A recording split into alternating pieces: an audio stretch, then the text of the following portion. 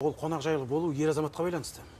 Ер азаматқа байланысты. Егер ер азамат әйел адам енді қонақ шақырса енді күйеуі бір командировкаге бір алыс жолға сапарға кеткен кезде өзінің құрбыларын шақырып шай ішіп сөйтіп жатады ғой. Ата енесі кеткен кезде жаңағыдай бір қазақтың керемет дәстүрлері бар ғой.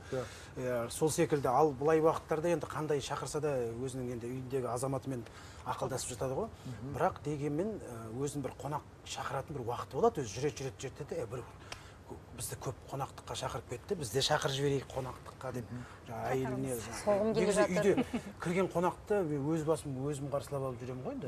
Ер азамат қарсылап алады ғой енді шақырған енді енді әрине өзінің құрбыларын шақырғанда өзі қарсылап алып енді амандасып шығып кетесің немесе телевизор көріп басқа бөлмеде жатасың деген секілді. Ал енді өзіңнің былай жұп жұбымен шақырған кезде иә, сол кезде енді өзін қарсылап алып әйел адам енді онсыз да сол қонақ енді келіп жатырған кезде қайнап жатады ғой кухняда деген кәдімгі ет пісіп жатады ананы Иә, жатады иә, абыр сабыр